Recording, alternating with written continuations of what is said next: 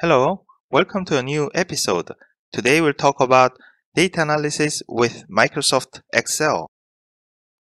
These days, we are literally being flooded with data and perhaps with more data than we can ever manage. So, how about using Excel for data analysis?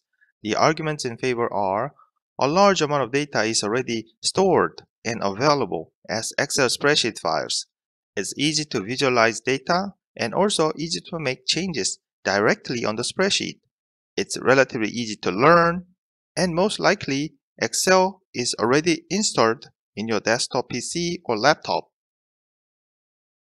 However, there are arguments against the standard Excel functions may not be powerful enough to do data analysis. Excel's macro or VBA is slow and rather cumbersome to program. Excel is not flexible enough for serious data analysis. So what is PrimaXL?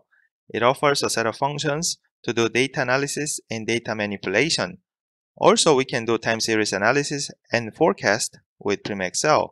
And most importantly, it is an add-in program for the Microsoft Excel. Thus, it has all the benefits of the host program. The key benefits of PrimaXL are it's user-friendly and yet powerful. There's no need to learn a new programming language. All the functions are accessible from the intuitive user interface.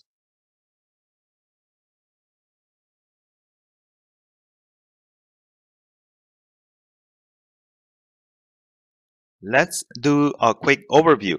You can click on the PrimaXL tab and access its main menu.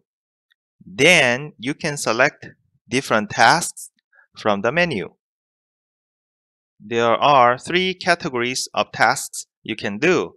Time series analysis, data analysis, and useful tasks such as curve fitting, graphs, missing data, and others. Let's focus on the data analysis category. You can press this button named linear to do linear regression. You can fit the coefficients, forecast, and test by linear regression.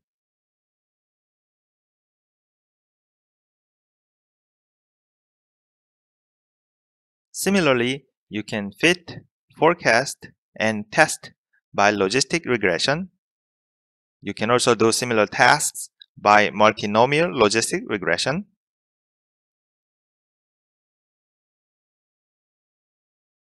You can do the principal component analysis and dimensional reduction. You can do clustering analysis, which is often part of the so-called exploratory data analysis. Finally, you can do network analysis. You can do modularity analysis and determine the community structure. Okay, are you interested?